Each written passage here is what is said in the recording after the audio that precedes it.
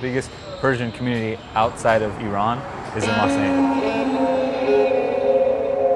My mom taught me how to cook Persian food. Uh, we're gonna get a little taste of it today. I don't want to be the show, Steven, where we just look at food. We're gonna eat this. Well, we will. We're gonna eat we it? will, yeah. To play in a World Cup for my parents' country was unbelievable.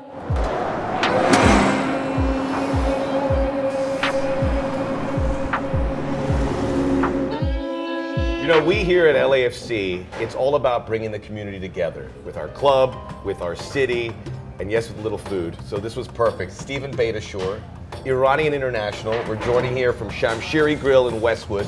This is the, uh, we're in the Persian Square. Yes. You live from Northern California, but now you get to come down here and experience this. But there is a big Persian uh, community here, um, Westwood, Beverly Hills. This is on Westwood Boulevard, and we're at one of the finer establishments. If you ever come eat Persian food in LA, it's a good chance you're coming to Shamshiri Grill, Yeah, it's the biggest Persian community outside of Iran is in Los Angeles. So they got unbelievable food, and we're at one of the best places. You're telling me also in Canada, you were blown away because you live in Vancouver. Yeah. And they had a big Persian community, just to show how, how the far reaches of this community and how prevalent it's become. Yeah, I was surprised, you know, when I moved to, to play for Vancouver Whitecaps for a couple years in North Van. Man, there's so many Persians, Iranians there, and I was kind of blown away from it. And then obviously everyone knows about Los Angeles, so uh, I was happy when I was coming back back to my people. There you go. So we have a big feed coming on. Yeah. You're going to order for me. Actually, let's just touch. Let's touch. What, what am I getting here? This is the traditional drink. Traditional Persian drink, it's called dul.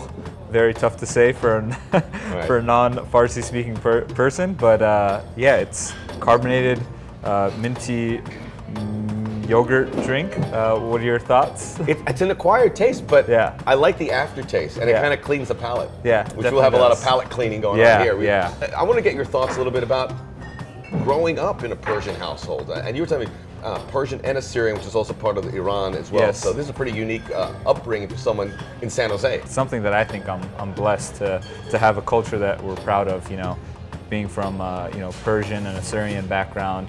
Uh, both my parents born in Iran. Every day growing up, more often than not, we were having Persian food. My mom was fantastic cook. Yeah, I'll- Lucky guy. I'm, I'm biased. I think her food's the best. But, uh, you know, all our friends would always come over and, and whether she's making ghormeh sabzi, lubia polo, kebab, friends were always coming over. Uh, It's an extensive everyone- menu. Yeah, everyone loved her food, and uh, we're gonna get a little taste of it today.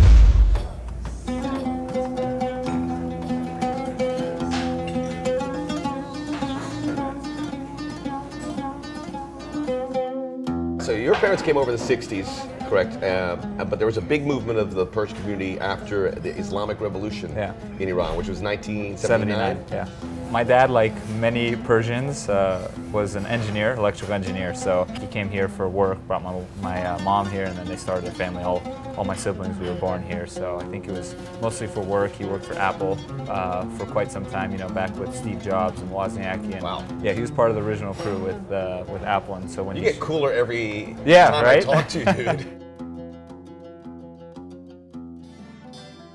now you as an adult, how often do you get to cook it yourself? My mom taught me how to cook Persian food. The only thing is, it's uh, very time sensitive. You know, you have to make sure that you've got three, four, five hours, you know, ready to go. So it's it's worth it. It's unbelievable. Tastes great. But like, so this one right here is my favorite dish that my mom would make growing up. Lubia polo. I don't want to be the show, Steven, where we just look at food. We're gonna eat this. Well, we will. We're gonna eat we it? We will. Yeah. Give me a little taste. Something. So we're gonna go Lubia polo. Just little sides for you. Again, growing up, this was my favorite. 2014, you were with the Iranian national team. You Yes. got the call and you got to participate in a World Cup. That must have been That was must have been great. That was unbelievable. It was a dream of mine to play in a World Cup, and you know, growing up in a Persian household, we are always known as Iranian Americans. Yeah. So, being able to play for Iran, it was it was a blessing. You know, obviously both my parents were born there, so to play in a World Cup for you know my parents' country was unbelievable. Who was your favorite Persian player? Ali Daei was my favorite just because, fun fact, he has the most international goals Anywhere of anyone. Of anyone of any country, most international goals. Ali Daei. Fun Yeah. fact. He also had a great mustache. Yes. So we ready to to dig in? Yeah, we're ready. All right. This is the part of the job I like. Let's get some grub.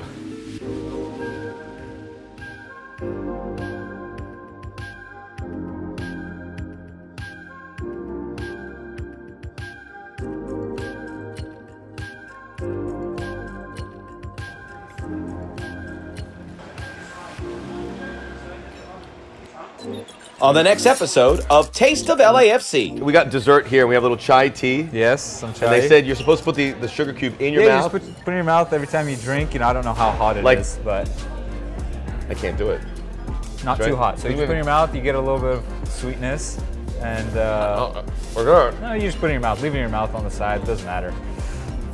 This way you get a little bit of I of can't sweetness. conduct the interview. No, yeah. So you can't do that. Can't do the interview.